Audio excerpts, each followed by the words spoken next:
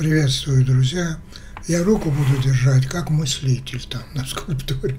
Я шутник, знаете, но у меня есть серьезный вопрос. Вот как передать мироощущение и полноту миропонимания в коротком тексте, музыке, картине? Посоветуйте, кто умеет, друзья, как подключить ИИ для масштабирования по всей планете нашего научного чуда от школы человечности школа «Человек будущего» для сокращения войны кризисов на планете и потребностей в лекарствах путем использования собственных наших ресурсов человеческих а, для музыки, живописи, самого метода ключ, способа компромисса между «хочу» и «надо». надо. Да, для развития творческого мышления – через раскрытие потенциальных заторможенных способностей, улучшение здоровья и творческого долголетия. Это синхромет, это каким действием делается? Это вот э, средством полной свободы. Пять минут в день.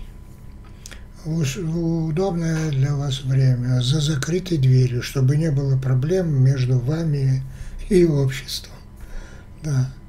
Потому что полная свобода – это то, что вам хочется в этот момент делать. Хочется кричать – кричите, хочется стонать – стоните, хочется бурчать – бурчите, хочется ножкой топать – топайте, хочется делать вид, что вы в волейбол играете, в волейбол или фехтование, или бой с тенью.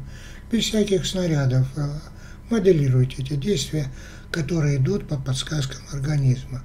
А для этого нужно понять, что вы как маленький ребенок, как своей детской, делали в детстве то, что вам хотелось. Когда хотели, танцевали, когда хотели, пели, когда хотели, стонали, когда хотели, ели, когда чего хотели. Но делайте это за закрытой дверью. Вот в чем компромисс между вами, между вашим «я хочу» и обществом.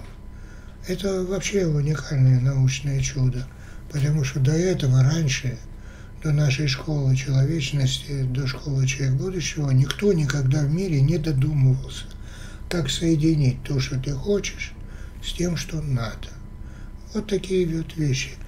Это называется синхрометод.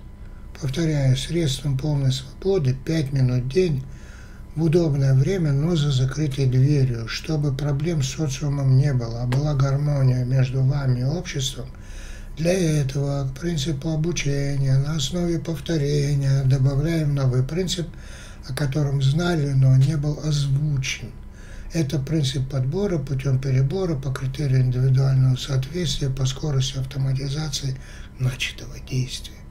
Ну, значит, комфортно. Вы что-то начали делать, например, боксировать с минимумом собеседником, с минимумом противником, а вам не идет, ну, не подходит, а вот хлост подходит – или лыжник подходит, или дирижирование подходит. Вот то, что быстрее автоматизируется, то вам и легче делать, то как раз-таки и снимает напряжение.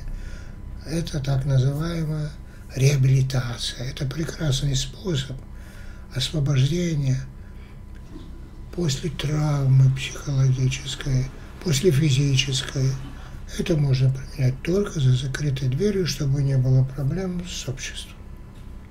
Да, это очень важно. Это свобода. Да, но свобода в обществе, вы же понимаете, даже ногой качать иногда неприлично на людях, когда вы сидите на каком-то собрании или перед выступлением. Вам же неудобно там что-то делать такое, которое качает эндорфин. Делайте это до выступления, за несколько вечеров, в удобное время – это очень крутая методика. Итак, это делается для снятия блоков ума и тела, гармонизации духовно-физической целостности, согласования психических и физических процессов. Это техника реабилитационного восстановления и антистрессовой подготовки к предстоящим ситуациям. Например, переговорам, экзаменам, соревнованиям, выступлениям, к свиданиям – путем перехода на менее затратный режим работы мозга, на лучший биоритм переработки информации в моменте, по примеру механизма, мама, например, качает ребенка, и подбирает ритм его покачивания. Да, и он начинает успокаиваться, даже не зная никаких теорий. И мама инстинктивно, не зная никаких теорий, делает это из поколения в поколение, благодаря чему есть и мы с вами. Поэтому так можно выпускать пар, напряжение и восстанавливать свою нормальность. А мы все творцы.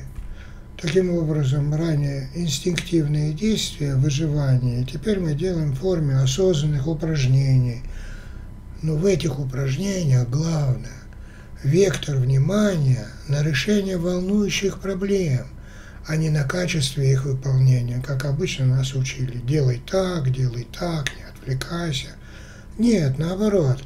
Это очень важно, что вектор внимания во время выполнения различных действий, которые вам нравятся в моменте, за закрытыми дверями, 5 минут в день, в удобное время – вы делаете, думая о том, о чем думается, о том, что волнуется, особенно за несколько вечеров э, до важной встречи. И там вы будете чувствовать себя уверенно, свободно. Музыку писать будете. Вы будете чувствовать, что вам помогает природа. Картину рисовать. Вы будете чувствовать, что вам помогает природа. Чем бы вы ни занимались, вы будете чувствовать, что и как надо делать будете чувствовать, как решать ранее нерешаемый вопрос. Это очень здорово. Таким образом, очень важное соединение между тем, что я хочу и как мне надо. Это свобода за закрытой дверью, чтобы не было конфликта с обществом, а наоборот была гармония. Там, где вы открываете свои творческие способности, живете дольше – молодеете, даже меняется цвет кожи, и вы становитесь более харизматичнее. И вас начинает больше любить, уважать, и вас начинает нуждаться, потому что вы становитесь для всех людей, да, поддержкой. Да, друзья? И теперь, пожалуйста, кто знает, как соединить ИИ с тем, чтобы мы могли этот текст большой, таким образом оптимизировать, таким образом раскрасить, разукрасить, сделать масштабированным по всей планете от школы человечности, да, от школы человек будущего. Итак, пишите, друзья. До встречи.